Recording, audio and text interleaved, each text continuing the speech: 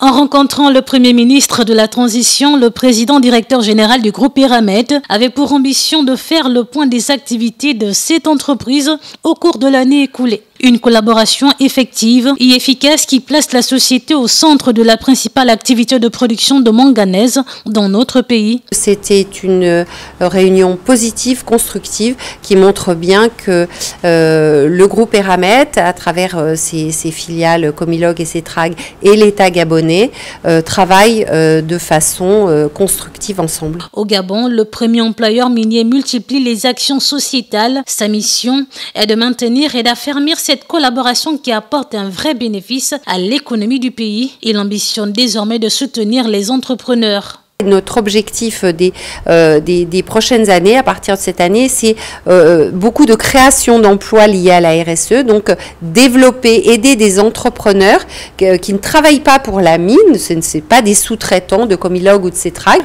et ça c'est important, donc il faut, ah, il faut les financer, il faut les former, il faut les accompagner, et ça ce sont des travaux que nous faisons dans le cadre de la RSE euh, pour être créateurs d'emplois auprès des populations.